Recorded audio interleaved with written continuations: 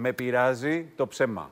Εντάξει, και ειδικά από έναν άνθρωπο που να σου λέει ότι ξέρεις κάτι, είσαι ιδιαίτερος, ε, θα μπορούσες να είσαι στην τηλεόραση. Ποιο είναι αυτός; Ο Βασάλος. Ε, να ρε, μιλήσω, με την να Τερζή μιλήσω πάθαμε για τρέλα. σένα, ναι, να βρεθείς σε κάποια εκπομπή ή οτιδήποτε στην Μπορεί να τα τηλεόραση. εννοεί αυτά. Ναι, οκ, μπορεί να τα εννοεί, αλλά δεν γίνεται πίσω την πλάτη μου την ίδια μέρα να βγαίνει και να κάνει high five με τη Μαριαλένα και τη Σαλταφερίδου και να λέει τον κανόνισα. Κατάλαβες, χωρίς εγώ να ξέρω αν εννοεί εμένα, αν εννοεί κάτι άλλο.